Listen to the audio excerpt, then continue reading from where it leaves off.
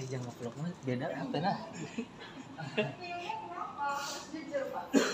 Enggak ada rasa enggak ada rasa apa penyedap gitu ya. Okay. Karena kan beberapa masakan kan dia sedap enak karena ada penyedap. Iya. Tapi ini saya nggak rasain ada di situ. Tapi original tes originalnya ada.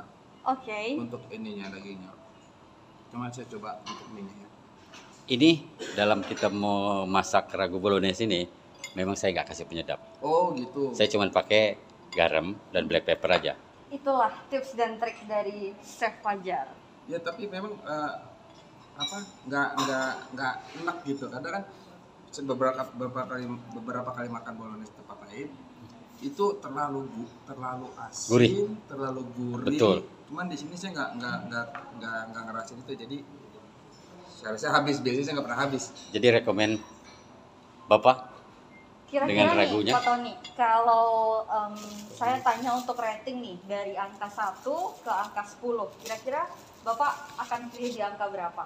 selama saya makan bolognese ini bisa dibilang 9 Wah, 9. Oh, karena mie-nya itu nggak terlalu lembek juga Iya, kemudian nggak terlalu eh, apa namanya keras oke. jadi eh, masih dapat Seperti kan yang chef bilang tadi, apa chef? Al dente. al dente. Al dente. al dente iya jadi Iya. itu pas dan rasanya juga nggak terlalu eh, nggak terlalu gurih nggak terlalu asin tapi eh, begitu di mix sama mie nya itu Mantap.